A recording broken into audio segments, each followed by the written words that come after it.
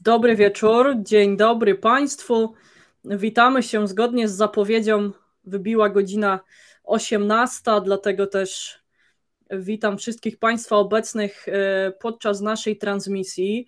E, jeśli bylibyście Państwo tak łaskawi, żeby dać sygnał na czacie, czy jesteśmy widzialni, słyszalni, czy z naszej strony technicznie jesteście nas Państwo w stanie oglądać i słuchać dzisiaj. Jeszcze nie mamy tutaj żadnego potwierdzenia, dlatego też, dlatego też bardzo proszę o sygnał na czacie. I za momencik myślę, że będziemy już mogli startować z dyskusją właściwą. A e, słowem wstępu, e, dzisiaj, dzisiejsze nasze spotkanie poświęcone jest, jak tytuł wskazuje, sile gospodarczej Polski, sile polskiej gospodarki, e, możliwościom polskiej gospodarki w ujęciu globalnym. I dzisiaj o tym z moimi gośćmi, ale również z Państwem, na co liczę, będziemy mogli porozmawiać. Mm, Proszę Państwa tylko jeszcze o ten sygnał e, dotyczący e, tego, czy jesteśmy widzialni i słyszalni podczas naszego dzisiejszego spotkania. Przepraszam bardzo, ja się tutaj już wyciszyłam, bo jestem włączona na e, drugiej karcie, też na YouTubie. Dobry wieczór, dzień dobry, słychać i widać. Dziękuję Panie Krzysztofie za potwierdzenie. W takim razie myślę, że oficjalnie możemy rozpoczynać nasze spotkanie. E, dobry wieczór, witam serdecznie. Ja nazywam się Gabriela Masztafiak i dzisiaj e, wspólnie z moimi gośćmi, moimi i Państwa gości porozmawiamy sobie zgodnie z tym, co tytuł e, naszego spotkania wskazuje, czym jest siła gospodarcza Polski, o tym, jakie perspektywy, możliwości w ujęciu globalnym siła polskiej gospodarki ma. Mm, a moimi gośćmi są dzisiaj pan profesor Kazimierz Dadak, emerytowany emerytowany profesor ekonomii Hollins University. E, witam serdecznie, panie profesorze. Miło mi bardzo, dziękuję. E, doktor Krzysztof Zalewski, e, analityk do spraw Indii oraz spraw energetycznych, stały współpracownik Nowej Konfederacji, Rada Programowa Nowej Konfederacji, również oraz Instytut Bojma. Dobry wieczór, Krzysztofie. Kłaniam się Państwu. Cześć. Cześć Krzysztofie, witam Bartłomieja Radziejewskiego, prezesa, założyciela Nowej Konfederacji i autora książki Nowy Porządek Globalny. Cześć Bartku. Dzień dobry, cześć. I Przemysław Gębala, e, przedsiębiorca, autor tekstów e, na portalu Nowa Konfederacja, ale też autor książki Cyfrowy Wzmacniacz Chaosu, która już niedługo e, pojawi się na rynku w wydawnictwie Nowej Konfederacji. Witam Cię Przemku, dobry wieczór. Witam wszystkich oglądających, słuchających i uczestniczących. Drodzy panowie, w takim razie zgodnie z zapowiedzią, czym jest siła gospodarcza Polski? Skąd taki cykl? Dlaczego w Nowej Konfederacji postanowiliśmy poświęcić e, naszą uwagę e, temu właśnie e, tematowi? Bartku, bardzo Cię proszę na początek o kilka słów o tym, czego nasi widzowie, nasi słuchacze, nasi czytelnicy mogą się spodziewać. Zacznę może od takiej refleksji, że środowiska liberalne III Rzeczypospolitej wykleły jednego z ojców założycieli II Rzeczypospolitej, Romana Dmowskiego, za antysemityzm. Jest on postacią niemalże trendowatą dla tych środowisk. Natomiast dosyć rzadko się zastanawiamy, w tym zwłaszcza te środowiska wyklinające się zastanawiają, skąd się brał ten antysemityzm Dmowskiego. Otóż wydaje się, że był on w mniejszym stopniu szczerą niechęcią do Żydów, a w o wiele większym stopniu był powodowany przyczynami ekonomicznymi. Dmowskiego bardzo zajmowało to, żeby Polska miała odpowiedni kapitał, miała odpowiednią siłę gospodarczą. Jako wielki zwolennik zarówno polskiej niepodległości, jak i polskiej siły na arenie międzynarodowej, dobrze coś w tle jakieś mamy zakłócenia. E, nie wiem, kto tam. E, nie, nie, śmiało. Myślę, że możemy kontynuować. Więc Dmowskiego bardzo nurtowało to, żeby zbudować siłę Polski. Dobrze zrozumiał doświadczenie nowoczesności, to znaczy mariaż między kapitałem, między siłą gospodarczą, a siłą państwa, który był kluczowy w przypadku powstawania nowoczesnych państw narodowych. I z tego względu, jak się wydaje, przede wszystkim Dymowski był antysemitą, że chciał akumulacji polskiego kapitału. Oczywiście nie musimy się z tym zgadzać, możemy to potępiać, ale warto rozumieć, że antysemityzm Dymowskiego brał się przede wszystkim z tego, że chciał, żeby polski kapitał wyparł żydowski kapitał w II Rzeczypospolitej. No i teraz y, skąd nasz cykl? No, nasz cykl w pewnym sensie jest z tego samego, to znaczy oczywiście nie z antysemityzmu, tylko z mm, refleksji nad tym, że żeby Polska była silna w XXI wieku, w tym, żeby poradziła sobie z zagrożeniami geopolitycznymi, które jak widzimy codziennie narastają, musi być też silna gospodarczo, że gospodarka jest y, jednym z kluczowych składników potęgi. I odwieczny polski problem z akumulacją kapitału, który przez zawieruchy dziejowe bardzo się pogłębił. Mamy stosunkowo już wysoki dochód na głowę mieszkańca, ale wciąż bardzo niski poziom zgromadzonego kapitału. Wydaje się kluczowym wyzwaniem z tej perspektywy i e, wydaje się kluczowym wyzwaniem również z perspektywy bezpieczeństwa. Więc ten cykl jest po to, żeby analizować związki między E, siłą gospodarki, a siłą państwa. No i e, na koniec powiem, że wydaje się, że bardzo brakuje nam e, takiej refleksji w Polsce właśnie. To znaczy z jednej strony elity gospodarcze skupiają się stricte na gospodarce z reguły, a bardzo mało zajmują się otoczeniem politycznym, gdy, ono jest kluczowe na dłuższą metę, jeżeli chodzi o akumulację kapitału i rozwój gospodarki. Z kolei elity polityczne czy analityczne zajmujące się polityką Mm, e, bardzo mało uwzględniają kontekst gospodarczy potęgi państwa i kontekst gospodarczy mm, funkcjonowania państwa. Także ten cykl jest po to, ten program jest po to, żeby braki w tej dziedzinie e, możliwie nadrobić i żeby budować e, polską myśl polityczną w tej dziedzinie, polską myśl ekonomiczną w tej dziedzinie. No i na koniec jeszcze powiem, że Zapraszamy przedstawicieli biznesu do udziału w tym, to znaczy do włączania się i, yy, i partycypacji w tym programie. Jesteśmy otwarci tutaj na partnerstwo z biznesem. Myślę, że taka synergia też dobrze by było, żeby powstała, żeby ten program mógł się długofalowo i coraz e, dynamiczniej rozwijać. Dziękuję. Zapraszamy partnerów e, biznesowych przede wszystkim, a dzisiaj w związku z tym, że jesteśmy live, jesteśmy z Państwem w bardzo bezpośrednim kontakcie, zapraszamy Państwa do tego, żeby dzielić się e, w komentarzach e, na czacie tutaj widocznym dla nas swoimi komentarzami, swoimi pytaniami, swoimi wnioskami dotyczącymi siły gospodarczej Polski, ale też Państwa być może pomysłów, jak tę siłę na arenie międzynarodowej osiągać. Panie profesorze, w takim razie zwracam się do Pana w e, pierwszej kolejności jako e, badacza zjawisk ekonomicznych, jako człowieka, który też swoją e, naukową ścieżkę poświęcił właśnie temu zagadnieniu, bo my od jakiegoś czasu słyszymy, to nie są zapewne jakieś bardzo powiedzmy e, najnowsze opinie, tak, które gdzieś tam e, ukazały się dopiero teraz, ale e, słyszymy o tym, że przeżyliśmy tak naprawdę złoty wiek. To ostatnie 30-lecie polskiej transformacji gospodarczej było złotym wiekiem. Powiększyliśmy swój dochód, dochód narodowy, powiększyliśmy swoje PKB, mm, ale chciałabym Pana zapytać, bo my dzisiaj spotykamy się po to, żeby spojrzeć w przyszłość i zastanowić się nad tym, jak tę siłę polskiej gospodarki podtrzymać, rozwijać ją, ale jak siłę polskiej gospodarki można zmierzyć w takim ujęciu międzynarodowym, jakich wskaźników, mierników, co obserwować? Dziękuję bardzo za wywołanie mnie do, tablicy w pierwszej kolejności.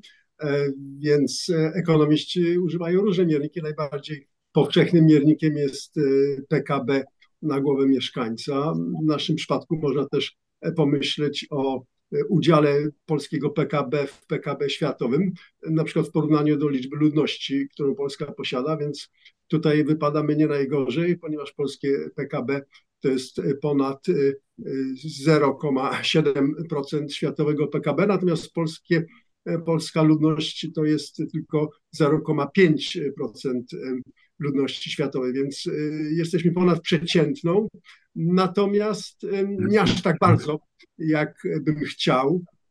jak myślę, polskie społeczeństwo jest, jest gotowe osiągnąć i, i ja tutaj mam pewne skrzywienie zawodowe, ponieważ w ekonomii podstawowym pojęciem jest optymalizacja.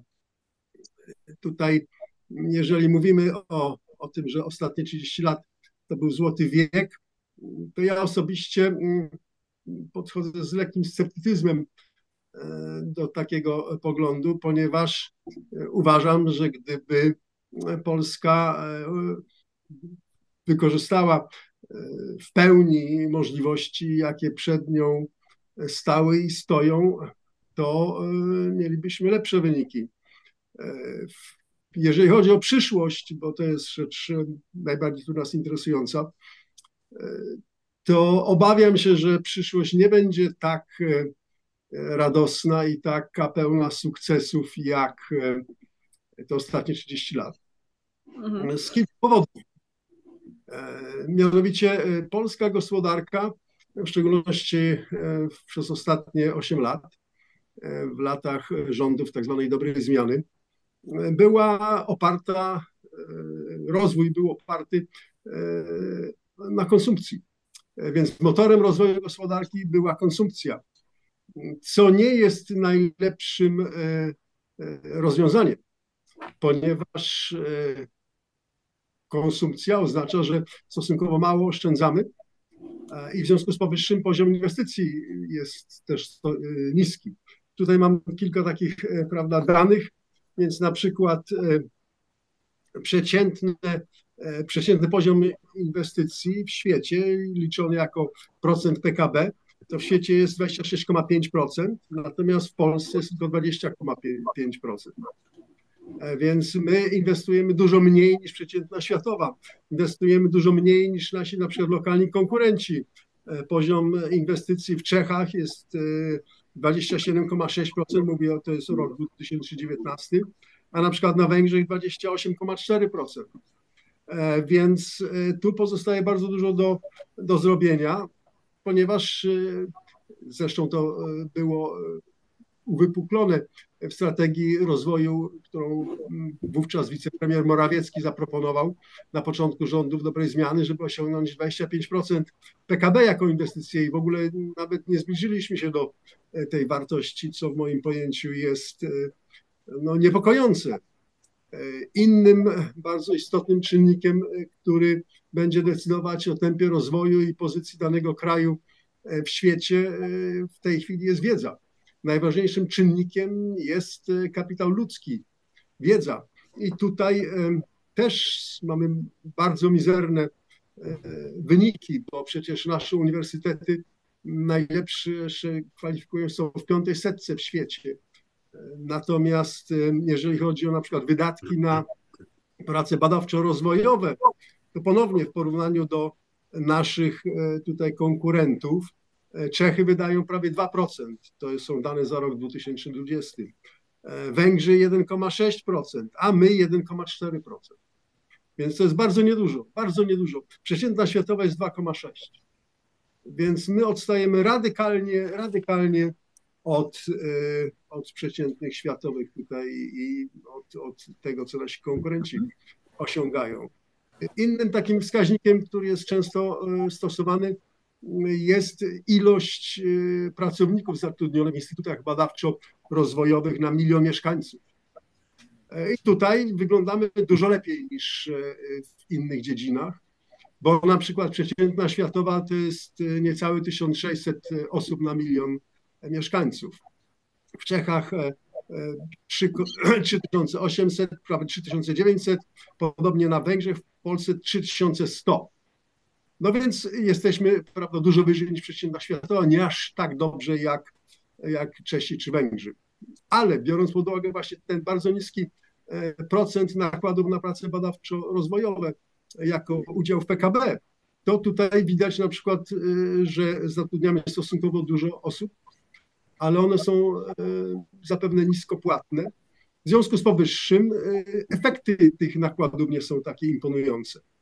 Bo na przykład takim wskaźnikiem, który często jest stosowany do zmierzenia zaawansowania technologicznego danej gospodarki, to jest ilość patentów triadycznych. Patent triadyczny to jest patent, który uzyskuje e, ochronę, e, wynalazek, który uzyskuje ochronę jednocześnie w Stanach Zjednoczonych, w tak zwanej triadzie, w Stanach Zjednoczonych, Unii Europejskiej i Japonii. I tutaj e, Polska, jak powiedziałem, nasz udział, jeżeli chodzi o ludność, to jest 0,5%.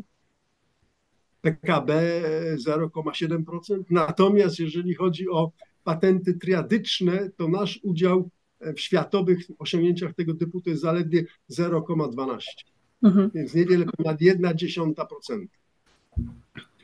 I jak mówię, biorąc pod uwagę poziom nakładów e, i jakość polskich uniwersytetów, obawiam się, przepraszam bardzo, że e, w przyszłości nie będziemy osiągać tak, do, tak dobrych wyników jak w ostatnich 30 latach.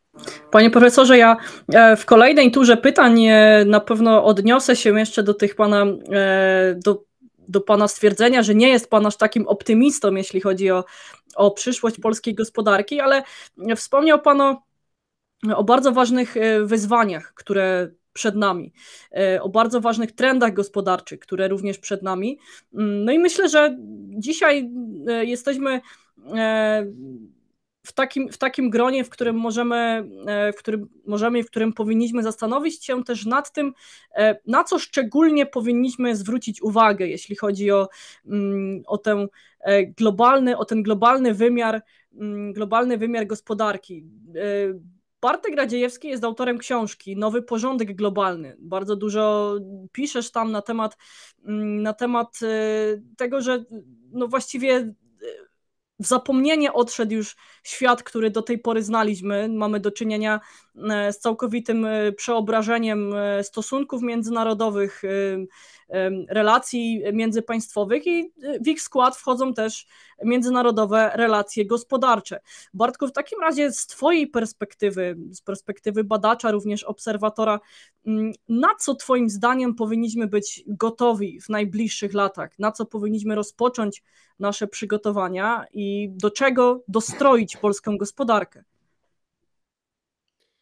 Okay, zanim odpowiem, to jeszcze y, mała sprawa organizacyjna. To znaczy, dzisiaj szukamy, Szanowni Państwo, też y, nazwy dla naszego programu, dla naszego cyklu, więc y, i chcemy się Państwa poradzić w tej sprawie. Więc jeżeli macie pomysły, bardzo proszę, zgłaszajcie na czacie. Gabrysia potem pracowi, pieczołowicie to skopiuje i będziemy brać pod uwagę.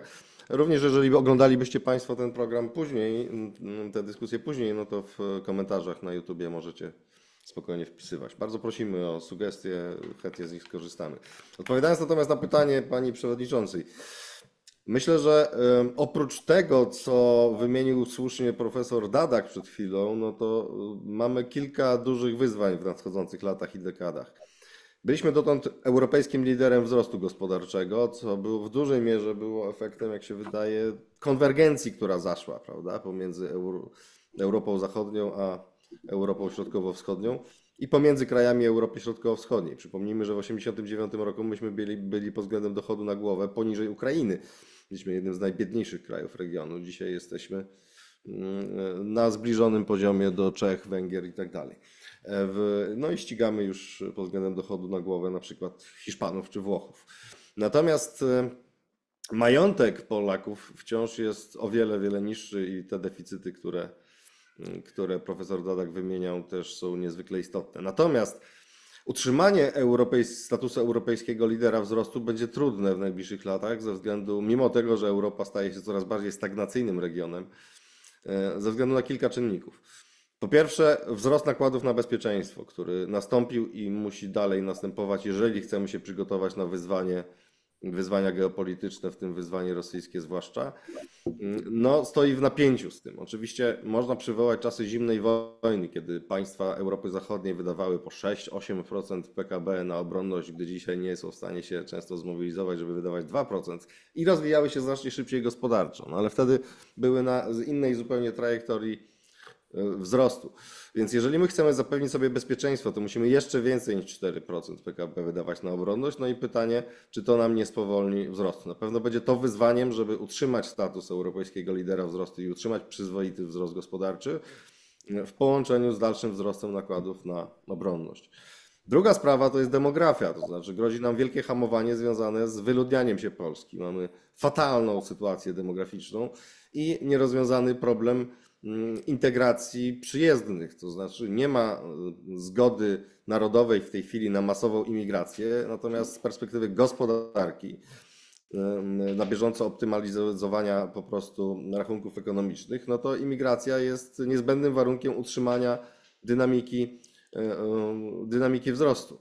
Mm, e, tymczasem, no, nie mając narodowej zgody co do tego, że ma być imigracja, jaka ma być imigracja, jaki ma być model integracji imigrantów, no, grozi nam potężne, grożą nam potężne konflikty społeczne i mm, zaburzenie spójności społecznej związanej z tym, że no, pracownicy tymczasowi zapewne za jakiś czas okażą się trwałymi imigrantami, imigranci trwali okażą się, okażą się za jakiś czas po prostu wnioskującymi o obywatelstwo, jednocześnie nie stawiając im żadnych wymogów, w, jeżeli chodzi o lojalność wobec państwa polskiego, no gotujemy sobie bombę społeczną, przygotowujemy sobie bombę społeczną związaną z wielomilionową rzeszą niezintegrowanej ludności. No ale pomijając to, słaba demografia, jeżeli byśmy z kolei chcieli nie, nie, nie przyjmować imigrantów, no to słaba demografia będzie powodować deficyt kompetencji, deficyt kadr, mm, e, presję płacową rosnącą i generalne hamowanie mm,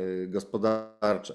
Kolejna sprawa no to jest stagnacyjność właśnie Europy. To znaczy Europa coraz wyraźniej staje się kontynentem w zadyszce rozwojowej staje się strefą coraz bardziej stagnacyjną, a jeszcze w połączeniu z odcięciem od e, ostatnio na przykład gospodarki niemieckiej, ale nie tylko, od ostatnich surowców, z końcem darmowego bezpieczeństwa ze Stanów Zjednoczonych.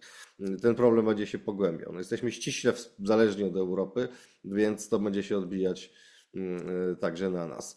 Mm, no i e, to wszystko w kontekście, jak mówiłaś, w książce piszę o tym dużo, no, zmieniającej się architektury rozwojowej w skali świata, prawda? To znaczy, można, ja tam w pewnym momencie poświęcam uwagę takiej kwestii jak wydatki infrastrukturalne potęg w historii, prawda? I zauważam za Paragiem Kanną, że każde kolejne dominujące mocarstwo wydawało więcej na infrastrukturę niż poprzednie. Wielka Brytania więcej niż poprzednicy, Stany Zjednoczone więcej niż Wielka Brytania i tak dalej, a wszelkie rekordy obecnie biją Chiny. No i e, wyścig o inwestycje infrastrukturalne i związana z tym konektywność, czyli budowanie nowoczesnej infrastruktury połączeń, zarówno twardej, w dziedzinie twardej infrastruktury, jak i społecznej infrastruktury, miękkiej mm, connectivity, prawda, e, jest czymś, co będzie bardzo istotnie wpływać, już wpływa na to, kto zgarnia którą część, jaką część tortu ze światowego bogactwa. My jesteśmy pod względem inwestycji słabi, pod względem infrastruktury jesteśmy dosyć słabi. Postępy w tej dziedzinie są znaczące, ale przełomu nie ma. No i w czasie, gdy Chińczycy budują, prawda, tam zbudowali już takich CPK kilkadziesiąt bodajże, my dyskutujemy, czy to nie jest zbytnia megalomania, mieć jeden taki duży, duży port. No to jest jakieś znamie też po prostu przygotowania mentalnego na nowe czasy. No, z tym wszystkim wiąże się szereg rzeczy, oczywiście rewolucja cyfrowa, powstające nowe segmenty gospodarki, e, transformacja energetyczna, o wszystkim tu nie powiemy teraz, ale e, a zwłaszcza ja nie powiem, ale e, zupełnie nowa, nowe podejścia i nowe dziedziny wiedzy, produkcji będą potrzebne, żeby liczyć się w rywalizacji gospodarczej i także o potęgę w XXI wieku i musimy tę transformację przejść, jeżeli chcemy się liczyć. No dobrze by było i bardzo bym chciał, żebyśmy utrzymali w najbliższych latach mm, e, status europejskiego przynajmniej lidera wzrostu, nie, może nie marząc realistycznie o tym, żeby zbliżyć się do Azji, ale, mm, ale to będzie trudne ze względu na powyższe wyzwania i musimy się poważnie zastanawiać, jak te wyzwania zaadresować. Bartek wymienił bardzo dużo czynników e, rzeczywiście, e, które stanowić będą w najbliższych latach e, wyzwanie, ale myślę, że jednym z głównych pytań, na które też polscy przedsiębiorcy szukają odpowiedzi, myśląc o inwestycjach zagranicznych, jest to, gdzie jest dzisiaj kapitał, w którą stronę patrzeć i gdzie go szukać. I teraz chciałabym zaadresować tę myśl do Krzysztofa Zalewskiego w związku z tym, że e, w ostatnim czasie realizowałeś cykl takich, e, realizujesz dalej cykl takich rozmów z polskimi przedsiębiorcami, którzy spoglądają poza granice Polski i tam szukają swoich szans na prowadzenie biznesu. W związku z tym, gdzie w takim razie, Twoim zdaniem, Krzysztofie, w jakim kierunku powinniśmy patrzeć, a w jakim kierunku patrzą też już ci przedsiębiorcy, z którymi udało Ci się porozmawiać? Dziękuję bardzo. To były fascynujące rzeczywiście, e, jak się mówi w Nowopolszczyźnie, inputy, czy też wkłady w dyskusję e, pana profesora i, i, i Bartka. Wydaje mi się, że to jest rzeczywiście kluczowe, żebyśmy pomyśleli o tym, jak podłączyć się do tych części świata, które rozwijają się najszybciej, ale też y, jak korzystać z tych instytucji, w których jesteśmy. E, bo musimy sobie powiedzieć, że w, e, w ciągu ostatnich 30 lat dokonaliśmy pewnej reorientacji. Tak? Jeżeli spojrzymy na rok 89, to um, poza gospodarką polską um, i ona była najbardziej związana z krajami oczywiście RWPG, um, byłej bloku wschodniego, mówiąc naj, najogólniej. W ciągu kilkudziesięciu lat dokonaliśmy całkowitej reorientacji połączeń biznesowych i połączeń gospodarczych. To jest coś, co się w, e, w historii nie tak często zdarza. Trzeba też o tym pamiętać, że po prostu w ciągu jednego pokolenia staliśmy się gospodarką europejską i związaną z Europą. I to jest oczywiście, możemy powiedzieć, że to jest wielki sukces i na pewno jest to sukces także naszych przedsiębiorców, którzy coraz częściej nie tylko sprzedają do Unii Europejskiej, ale inwestują też w spółki, które tam już ktoś założył, przejmują je albo zakładają własne. Natomiast kłopot polega na tym, że tak jak zostało już powiedziane, Europa nie jest w tej chwili motorem wzrostu na świecie. Więc pytanie jest takie, co można zrobić, żeby korzystać z regionu świata, mówiąc najogólniej Indo-Pacyfiku, który bardzo jest, szybko się rozwija. No i tutaj oczywiście mamy, um, możemy przyjrzeć się tym już firmom, które w Azji, w różnych miejscach Azji są obecne. I tutaj trzeba powiedzieć, że mamy pewną brak połączenia między państwem a przedsiębiorcami. To znaczy, państwo ciągle myśli o tym, żeby wspierać polski eksport, mówiąc obrazowo, jabłka do Azji, tak? a y, przedsiębiorcy potrzebują innych narzędzi. Znaczy, ci, którzy osiągają sukces, nie zajmują się eksportem towarów w większości, ale myśli, techniki, innowacji, um, systemów. Tak? I um, trzeba pomyśleć o tym, jak jako państwo, jako społeczeństwo można ich w tym wspierać. Te instrumenty wsparcia, które są, wydają się niewystarczające. I po drugie, nie powinniśmy myśleć o ekspansji polskich przedsiębiorców w kategoriach połączenia między rynkiem polskim a rynkiem jakiegoś innego państwa.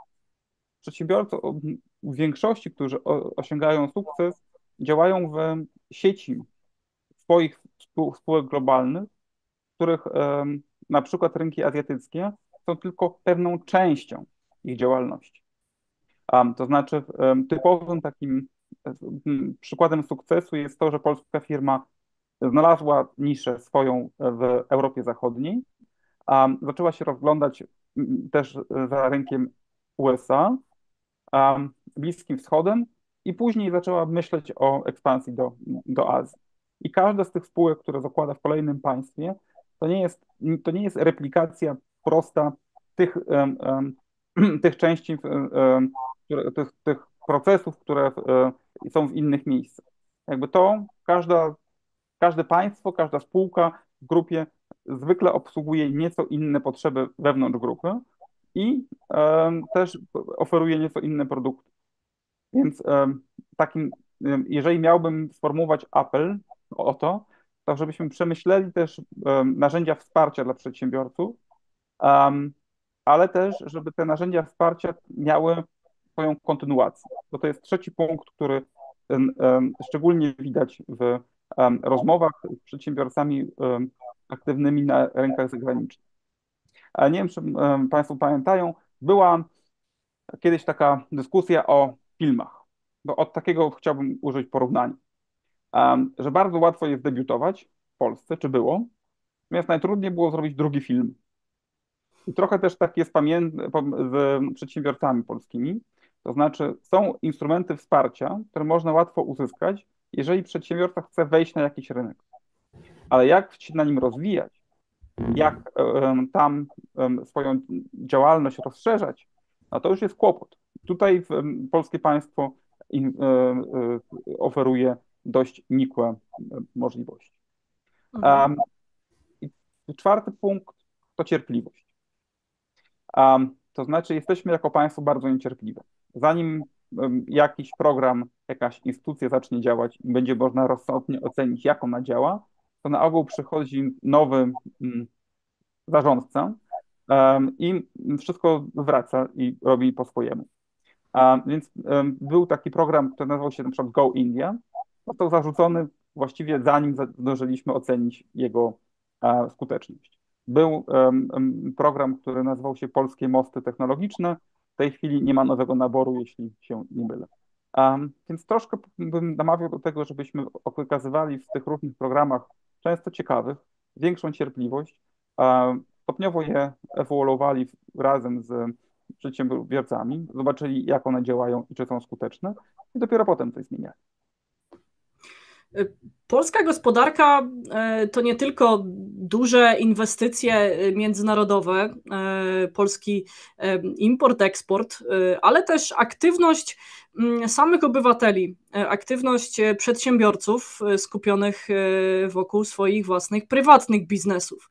Mm, I w takim razie chciałabym zapytać Przemysława Gębale, jako przedsiębiorcę, człowieka, który od lat właściwie prowadzi swój e, własny, dobrze prosperujący biznes, bo natknęłam się na takie dane e, mówiące o tym, że właściwie ostatnie dwa lata, czyli rok dwa, 2022-2024 to właściwie bardzo ciężki czas dla polskich przedsiębiorstw. Ponoć dane wskazują, że lata te wykończyły więcej e, firm prywatnych niż e, okres pandemiczny nawet, między innymi przez wzrosty e, płacy minimalnej, mm, inflację, wzrost innych kosztów prowadzenia działalności. Mm, dlatego też nasuwa mi się takie pytanie, czy rzeczywiście prowadzenie biznesu w Polsce w tym otoczeniu instytucjonalnym, jakie mamy, Przemku, to jest bieg z przeszkodami?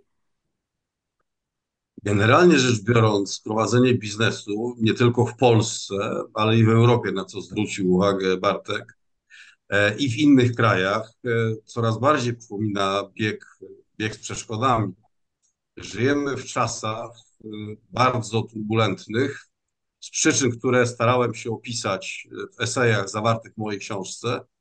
Cyfrowy wzmacniacz chaosu, cichy zabójca nowoczesności.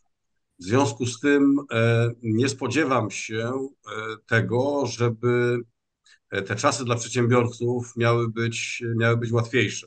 Dobrze byłoby, żeby nie były trudniejsze. Natomiast bez wątpienia otoczenie instytucjonalne, otoczenie infrastrukturalne, otoczenie tego kapitału po ludzkiego, zarówno w sensie fizycznych e, pracowników, e, menedżerów, naukowców, jak i w sensie wiedzy którą, którą gromadzą, jest niezwykle, jest niezwykle ważne.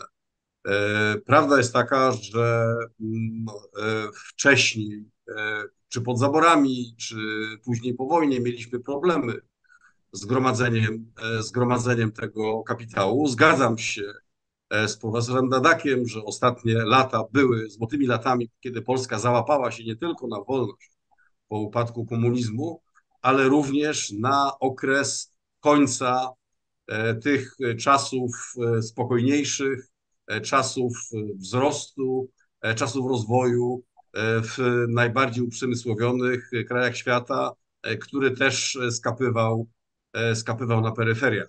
W tej chwili tak nie jest.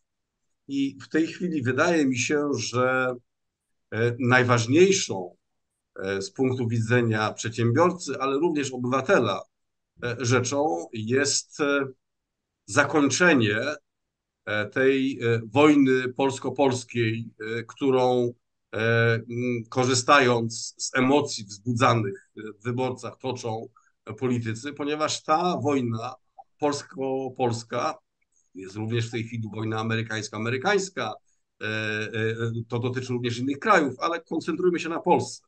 Ta wojna polsko-polska spowalnia nasz, nasze możliwości rozwoju i ciągnie nas na dno E, czy na koniec tej kolejki po prostu krajów, które mają szansę e, dobrze się, e, dobrze się rozwijać.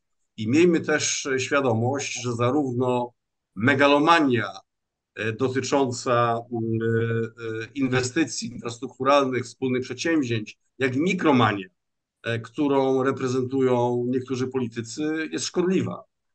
Tak naprawdę liczy się mądrość zbiorowa, liczy się to, czy jesteśmy w stanie razem skutecznie współpracować, e, żeby pomnażać e, dobro, żeby zwiększać kapitał ludzki, który w tej chwili bywa marnowany, żeby zwiększać kapitał wiedzy, żeby zwiększyć ten kapitał e, pieniężny i żeby zwiększać kapitał infrastrukturalny, ponieważ to będzie przyciągało zarówno nowych obywateli, którzy będą mieli po co się urodzić, to będzie przyciągało tych, którzy mogliby zostać naszymi, naszymi obywatelami, jeżeli spełnią te warunki, których na razie nie ma, o których mówił po prostu Bartek Radziejewski e, i które będą, e, e, które będą przyciągać pomoc i zainteresowanie innych.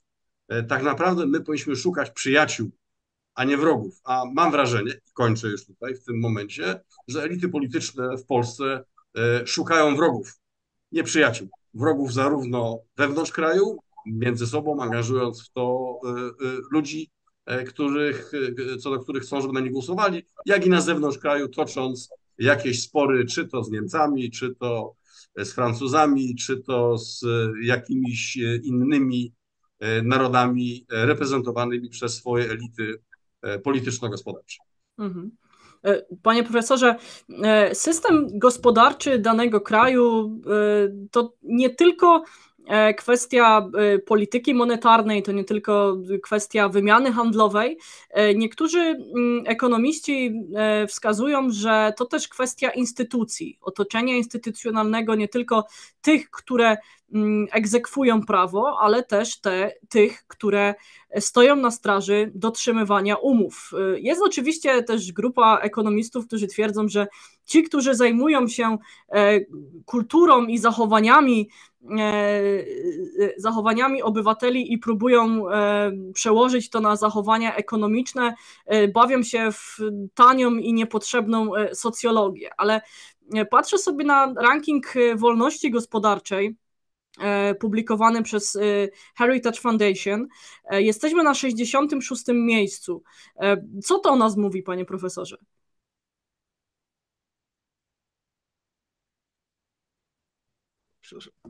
Więc jest to niestety y, bardzo słaby, słabe miejsce, ponieważ y, jeżeli chodzi o PKB, nasze globalne PKB, jesteśmy na 21 miejscu w świecie, natomiast w zakresie wolności jesteśmy dużo, dużo niżej.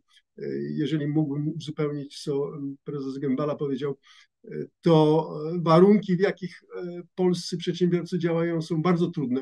W porównaniu do amerykańskich są bardzo trudne. Nie tylko e, bariery natury administracyjnej, ale przecież cały system podatkowy, e, który zniechęca do inwestowania, niesłychanie wysokie koszty robocizny związane ze składkami na ZUS, E, brak e, poza tym właśnie tej otoczki instytucjonalnej, o której Pani wspomniała, e, czy też jej niedociągnięcia, bo przecież wymiar sprawiedliwości, w szczególności w ciągu ostatnich latach, w ostatnich latach był, był ciężko, prawda, no, tutaj atakowany z różnych stron.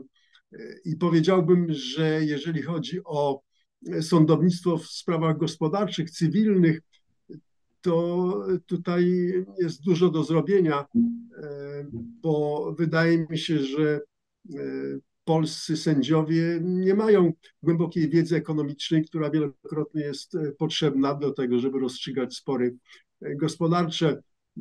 Przypomnę taką kwestię jak na przykład te opcje walutowe i tak dalej, które wstrząsały Polską, czy choćby sprawa pożyczek we frankach szwajcarskich, frankowicze i tak dalej.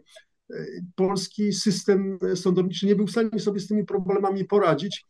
Polski Sąd Najwyższy przecież skierował do Trybunału Sprawiedliwości Unii Europejskiej ten, ten, tę sprawę, co w moim skromnym pojęciu było no, chybionym posunięciem, ponieważ to właśnie pokazywało ca całemu światu, całej Europie, że my nie jesteśmy w stanie sobie poradzić z takim w końcu wewnętrznym, nie tak skomplikowanym problemem jak pożyczki denominowane we frankach szwajcarskich. Chciałbym tutaj też poruszyć sprawę korupcji. Myślę, że jest tutaj sporo do zrobienia, mimo że nasz ranking nie jest taki zły w tym zakresie, ale na pewno, na pewno można, można poprawić sytuację w tym zakresie. Także niewątpliwie jest, jest cała gałąź nauki ekonomicznej, która zajmuje się kwestią właśnie otoczki, otoczki instytucjonalnej i tutaj niestety nie ma w Polsce świadomości tych kwestii. Drodzy Państwo, ja e, przypominam, że w czasie naszego dzisiejszego spotkania e, poszukujemy wspólnie nazwy dla nowego cyklu, który właśnie tą dzisiejszą rozmową e, zapoczątkowujemy. Siła polskiej gospodarki to taki roboczy tytuł, ale zachęcamy Państwa, żeby podzielić się zarówno na czacie, jak i później w komentarzach po obejrzeniu tego materiału swoimi pomysłami, bo być może to właśnie Państwa pomysł stanie się marką tego, co wspólnie w najbliższych miesiącach o y, polskiej gospodarce y, powiemy. Otoczenie instytucjonalne, właśnie. Pan profesor powiedział o tym nieco w odniesieniu do podwórka krajowego, ale jest to także całe otoczenie międzynarodowe. Polska zaangażowana jest w szereg instytucji międzynarodowych, których jest członkiem, by nie szukać zbyt daleko, Unia Europejska. Unia Europejska, która ogłasza przeróżne regulacje, programy, plany. Jednym z punktów zapalnych stał się ostatnio Europejski Zielony Ład. Wyprowadził e, rolników na ulicę, no ale niesie też bardzo konkretne konsekwencje i wymagania wobec naszej gospodarki. Bartku, w takim razie chciałabym zapytać Ciebie o to międzynarodowe otoczenie instytucjonalne. Czy, czy ono poprzez takie regulacje, jak na przykład Europejski Zielony Ład y, przestało już tak bardzo pomagać i służyć wzrostowi jak do tej pory, a zaczyna bardziej przeszkadzać i tłamsić y, gospodarki poszczególnych państw? Tak, to się staje coraz większy problem i coraz większe wyzwanie y, o charakterze wręcz cywilizacyjnym. Wychodząc ze słusznej idei, jaką jest ochrona planety, troska o przyrodę, Niestety europejska polityka energetyczno-klimatyczna została zawłaszczona przez e, fanatyków działających, jak się wydaje, do pewnego momentu przynajmniej w brudnym sojuszu z mm, dużym przemysłem europejskim zainteresowanym outsourcingiem, przenoszeniem produkcji, brudnej produkcji do krajów zewnątrz, zewnętrznych, do krajów zwłaszcza dawnego trzeciego świata, gdzie, jak wiemy, regulacji środowiskowych nie ma albo są dużo mniej wymagające, koszty pracy są przy okazji dużo niższe.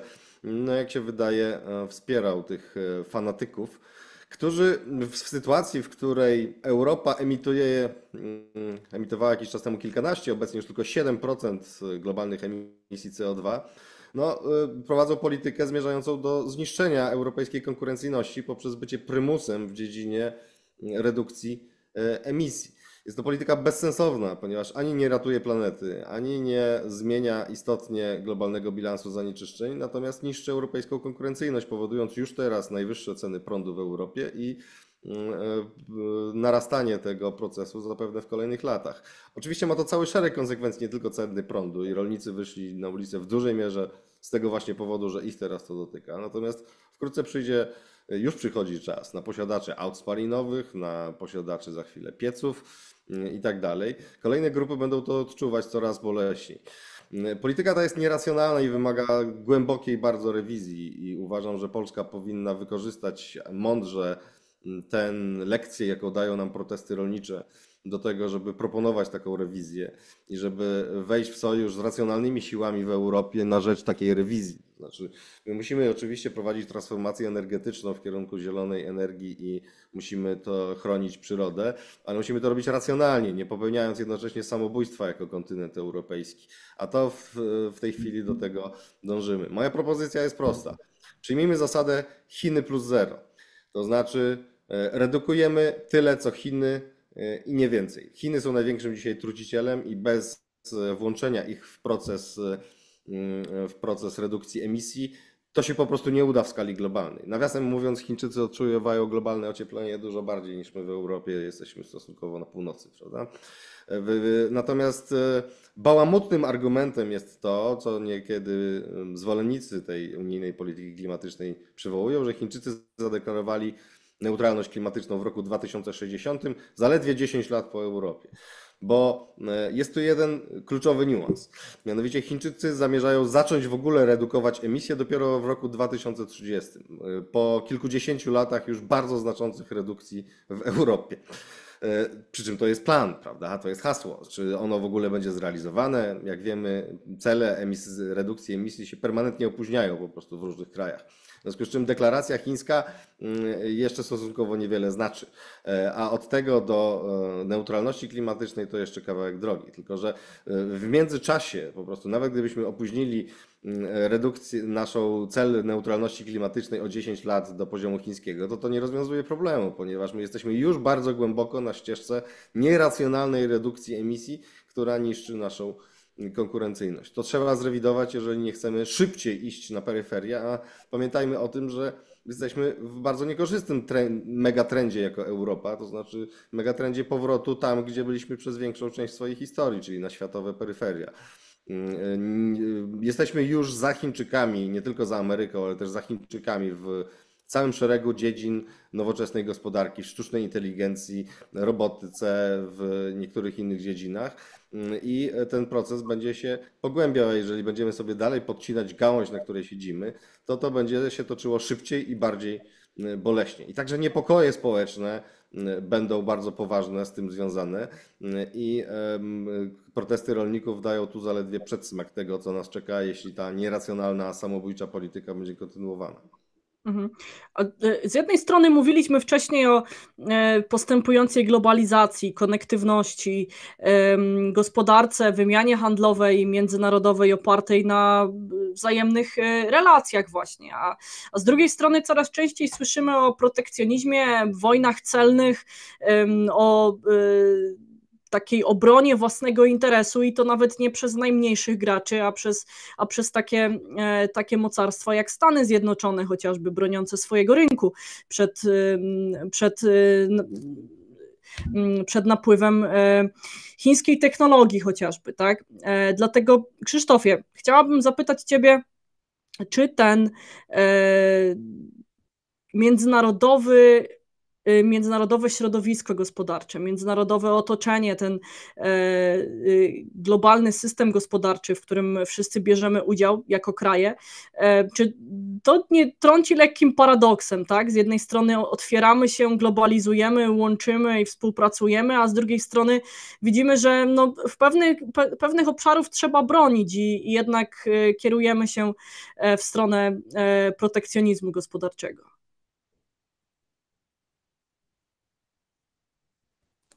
To jest paradoks naszych czasów, który, że z jednej strony żyjemy jeszcze w takim świecie stworzonym w latach 90 2000 i w trendzie, który wtedy można było określić globalizacją i też e, liberalizacją światowego handlu. Bo jednym z najważniejszych źródeł wzrostu gospodarczego na świecie w ostatnich dziesięcioleciach był właśnie handel międzynarodowy. Z drugiej strony żyjemy w, teraz, nowa epoka, pewnie e, będzie epoką zwiększonej troski o bezpieczeństwo. W związku z tym także e, rozumiane jako podstawy ekonomiczne i jeżeli przyjrzymy się hasłom takim jak bezpieczne łańcuchy dostaw, derisking, jeżeli chodzi o Chiny, a więc tworzenie alternatyw w stosunku do Chin, to wszystko wymaga aktywności państwa i zamykania pewnych rodzajów wymiany w jednych dziedzinach, a stymulowania w innych.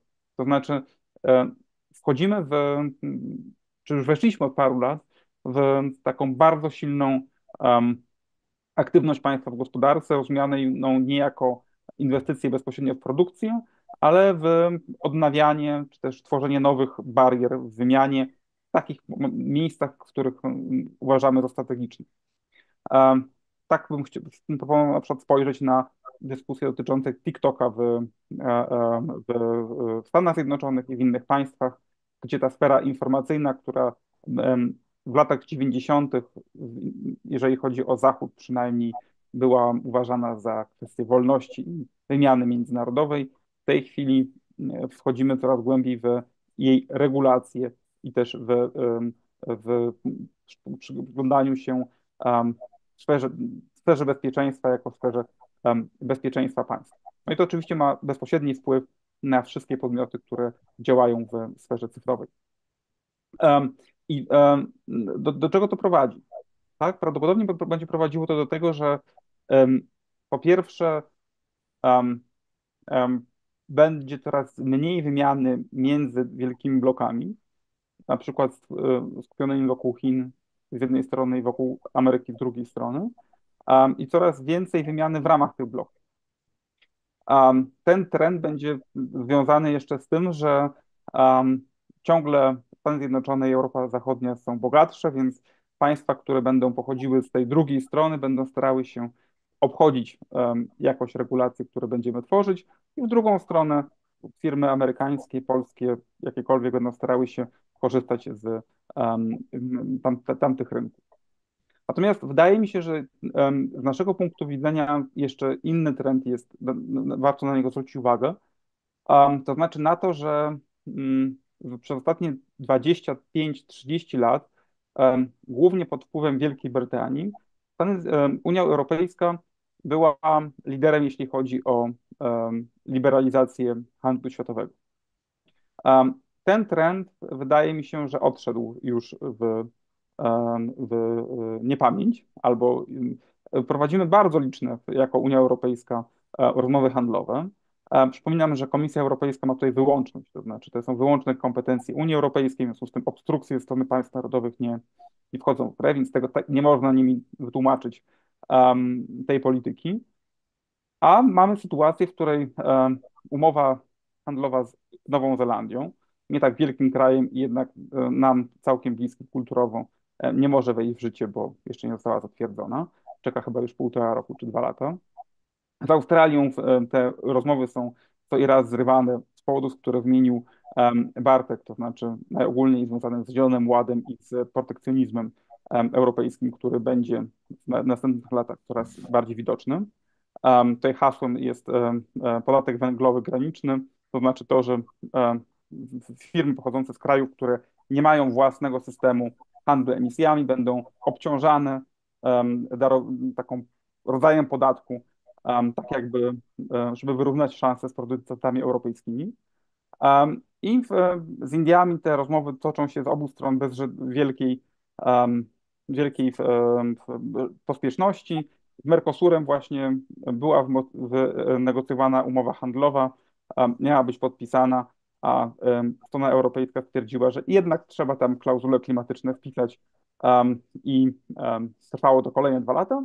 Po czym jak zostaną z bólem wynegocjowano kolejne, e, e, kolejną wersję, to e, zaczęły się protesty rolników w Unii Europejskiej. Powiedzieliśmy naszym partnerom z Ameryki Południowej, no to jednak my niczego nie podpisujemy na razie. W związku z tym reakcja Brazylii, na przykład prezydenta Luli była taka, no to jeżeli wy nie chcecie, to my się musimy w takim razie integrować w ramach globalnego południa. I to jest trend, który wydaje mi się będzie narastał. To znaczy tego, że e, będzie coraz więcej łańcuchów dostaw i coraz więcej integracji e, gospodarczej będzie poza Zachodem. E, ponieważ Unia Europejska i Stany Zjednoczone z własnych, które też są coraz mniej chętne wymianie handlowej wolnej, będą w tym globalnego południa coraz więcej handlować między sobą. One mówią oczywiście o tym już od wielu dziesięciu lat, dziesiątków lat, tylko że teraz um, takie kraje jak BRICS, proszę mnie po, po, po, poprawić, ale e, wydają się mieć 30% globalnej gospodarki. Tak? I um, państwa na bardzo różnych etapach rozwoju technicznego. W związku z tym teraz być może już mogą handlować między sobą w taki sposób, żeby y, też prowadzić do specjalizacji i te wszystkie korzyści, które wynikają z handlu światowego, wbierać. W związku z tym wydaje mi się, że musimy przemyśleć naszą rolę jako Polski w organizacjach, w których jesteśmy i nasz stosunek do e, zasad handlu światowego. Mhm. Tutaj potrzeba jeszcze tylko ostatnie zdanie naszej aktywności. To znaczy musimy tak naprawdę spytać się, co nam się opłaca i za czym, optuje, op, za czym, optuje, za czym optujemy. Tutaj, jeżeli dobrze śledzę nasze postulaty w, e, w ramach Unii Europejskiej, jesteśmy raczej państwem blokującym, reaktywnym, a nie aktywnym i nie zgłaszającym swoje postulaty. Mhm. Przemku, w takim razie chciałabym e, zapytać Ciebie o tę o, mm, budowę polskiej siły gospodarczej w tym ujęciu globalnym, konkretnie, bo no, e, Krzysztof wspomniał o tym, że musimy przemyśleć naszą, e, nasze miejsce, naszą rolę, to, to właściwie kim chcemy być na tej globalnej scenie. Musimy tak naprawdę wymyślić się wymyślić się trochę e, na nowo i zdecydować tak naprawdę, w jakim kierunku E, chcemy iść, ale myślę sobie też o tym, czy w tej światowej e, grze gospodarczej jest miejsce na jakieś wartości, bo mówimy tutaj o e, polityce klimatycznej, o ochronie środowiska, no, które zostają wykoślawione poprzez, poprzez działania międzynarodowych instytucji na przykład. A może właśnie w tej międzynarodowej gospodarce i o sile międzynarodowej gospodarki świadczy po prostu kapitał, tak jak Chiny wchodzące do poszczególnych krajów Afryki, zdobywające tam wpływy poprzez gigantyczne inwestycje, po prostu podstawową infrastrukturę, której tam brakuje. W takim razie podsumowując moje pytanie i też to, to, co, to czego chciałabym się od Ciebie dowiedzieć, mm, jak budować w takim razie siłę polskiej gospodarki, tych trudnych i dosyć paradoksalnych, jak już powiedział Krzysztof, warunkach międzynarodowych. No cóż, możemy to rozpatrywać zarówno wewnętrznie, jak i zewnętrznie. Wewnętrznie, e, moim zdaniem, powinniśmy pracować nad e, opcjonalnością, e, czyli nad tym, żeby coś móc zrobić, a nie musieć, czyli mieć połączenia i dobre po prostu relacje z różnymi miejscami, miejscami po prostu na świecie, E, z którymi moglibyśmy się wymieniać. Moglibyśmy, ale nie musielibyśmy.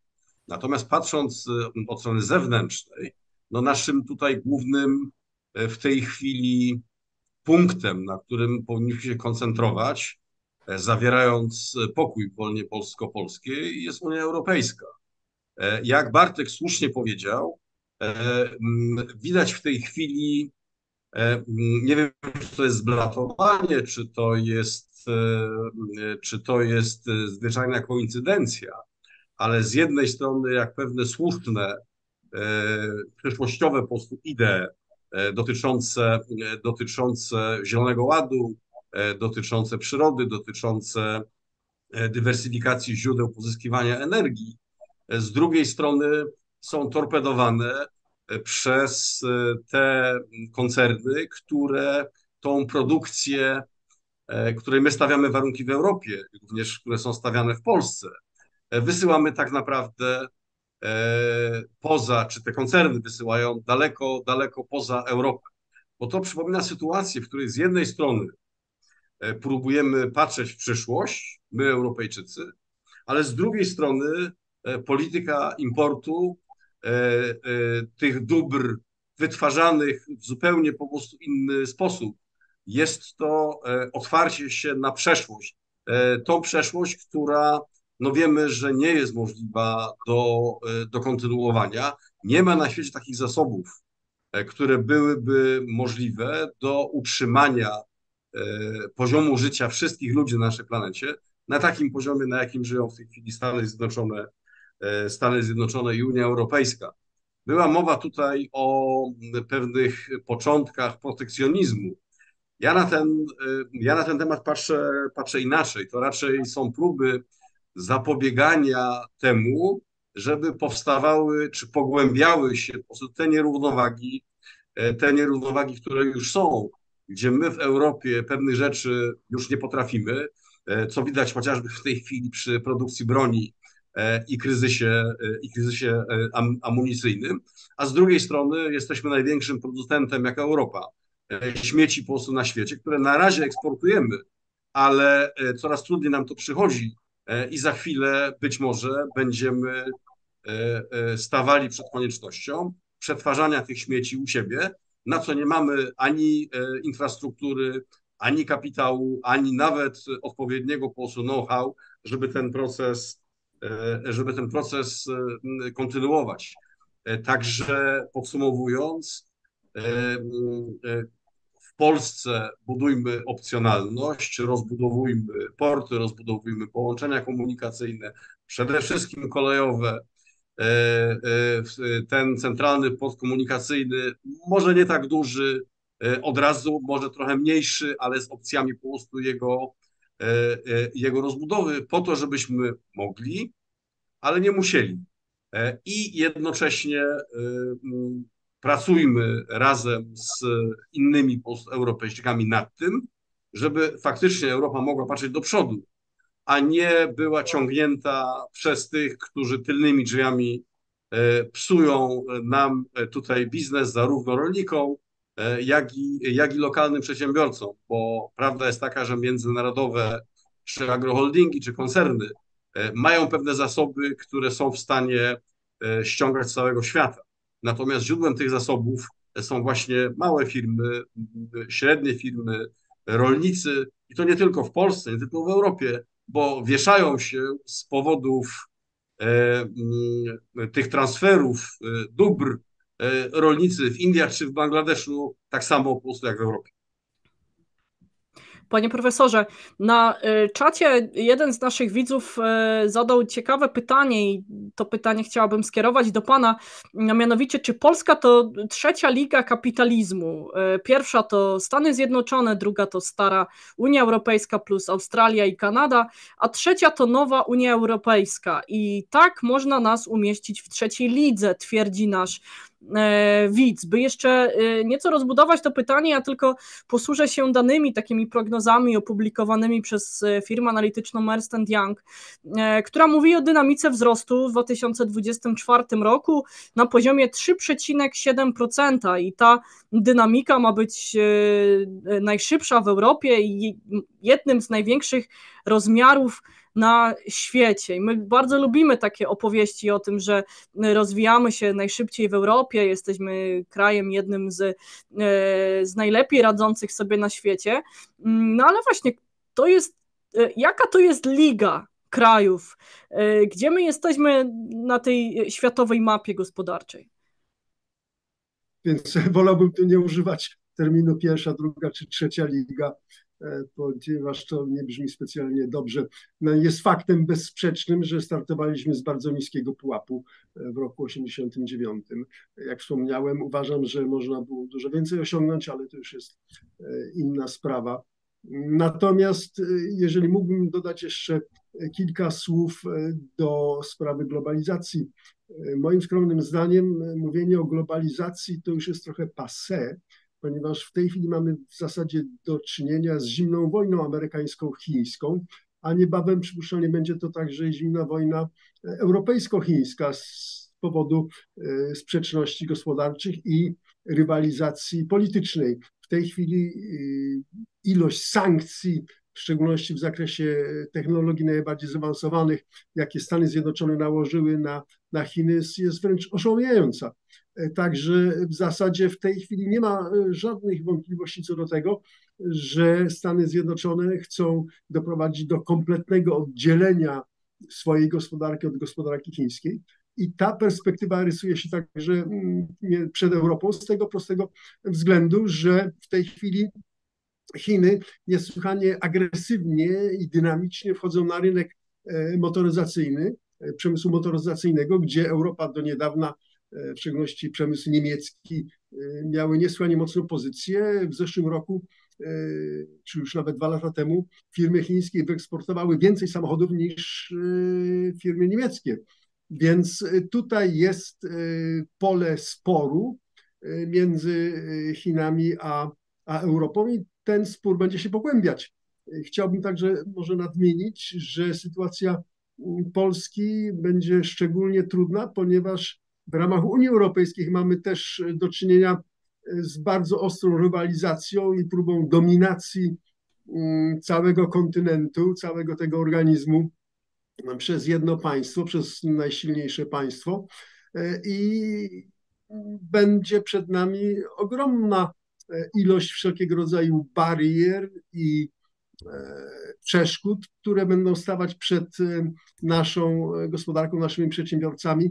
Między innymi właśnie Zielony Ład służy do tego. Mówi się o tym, że Polska ma przyjąć euro, Podejrzewam, że zarzuty stawiane prezesowi Glapińskiemu to są sygnałem, w jakim e, kierunku zmierza ta sprawa. Natomiast w ramach Europolska straci zupełnie konkurencyjność jako gospodarka i e, obawiam się, że szybkie tempo rozwoju nie będzie możliwe do osiągnięcia. Natomiast e, sprawa prymusa, Polska jako prymus w Europie, oczywiście jest to bardzo miłe i zaszczytne miano i prawdziwe jak, jak najbardziej. Z tym, że Europa na tle gospodarki światowej jest organizmem obumierającym.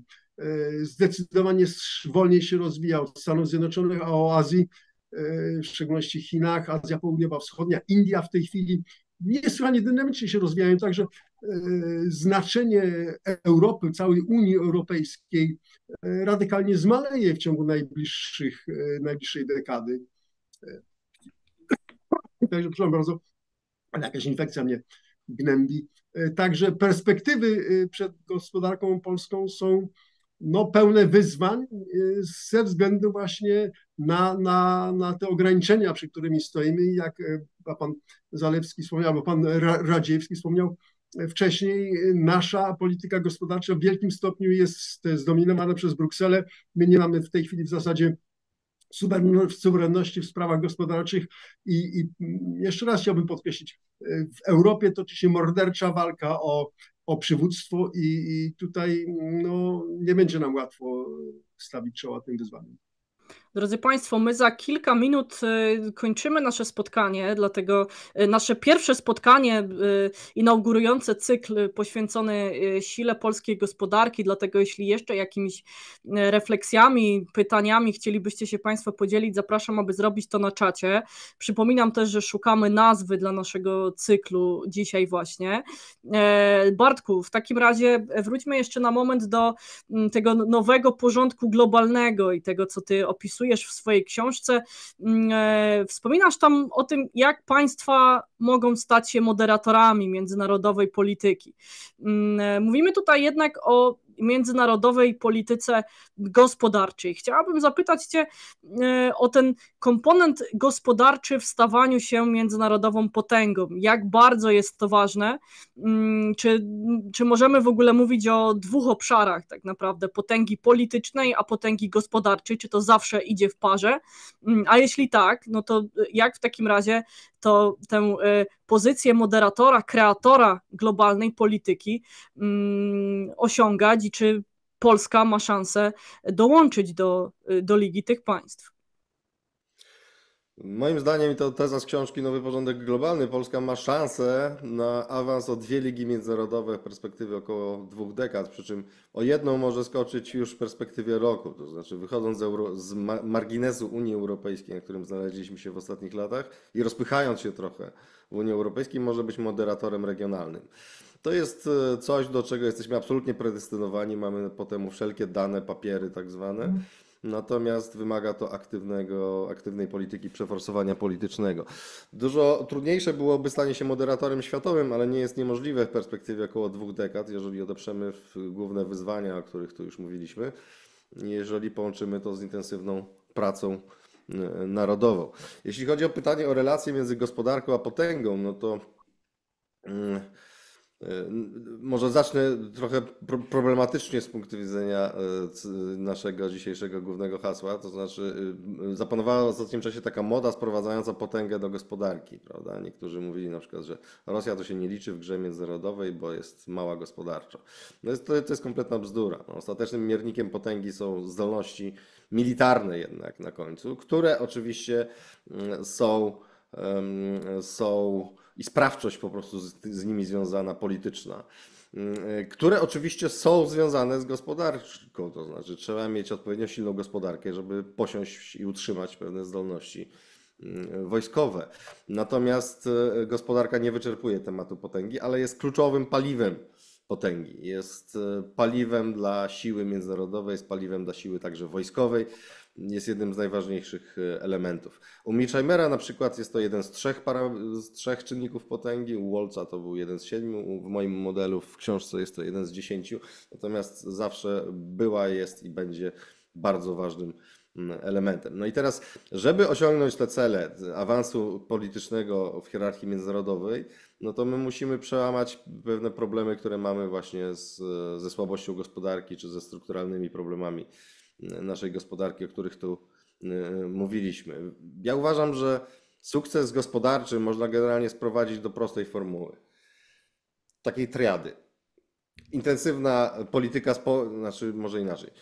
Liberalizacja wewnętrzna, protekcjonizm zewnętrzny i intensywna polityka społeczna, prawda? Jeżeli ma się te trzy rzeczy, które oczywiście rozgałęziają się na dziesiątki e, szczegółów i niuansów, e, można mieć sukces gospodarczy. Jeżeli chodzi o to, co jest naszą jedną z największych słabości, czyli ta e, słabość instytucjonalna i e, słabość parasola politycznego nad gospodarką, mm, niska innowacyjność także, o której tu e, przedmówcy mówili, no to wydaje się, że interesującego bardzo tutaj przykładu też dostarczają największe, autorzy największych sukcesów gospodarczych i modernizacyjnych ostatnich lat, czyli państwa azjatyckie, zwłaszcza wschodnioazjatyckie, prawda, gdzie czy Singapur, czy Tajwan, czy Korea Południowa, mm, także Japonia. Mm, to wszystko są, y, już nie mówię o Chinach, to wszystko są państwa, które mm, y, budowały swój sukces gospodarczy na ścisłej współpracy państwa z biznesem. Prawda? To było od początku bardzo dobrze pomyślane i e, ściśle e, e, ułożone w ten sposób, że państwo wspierało biznes, a biznes wspierał państwo. Musimy przełamać naszą niemoc w tym względzie, jeżeli chcemy o te dwie ligi, a ja bym bardzo chciał, żeby Polska te dwie ligi międzynarodowe mm, awansowała. Mhm. Patrzmy więc na tych, którym się udało. W takim razie głos podsumowujący dla Krzysztofa Zalewskiego. E, Bartek wspomina o Tajwanie, Singapurze, o azjatyckich tygrysach. E, rzeczywiście e, Polska powinna zwrócić się w tym kierunku i rozwijać swoje powiązania właśnie z tymi, którym, którym, którym się udało i czerpać te, te dobre wzorce właśnie stamtąd?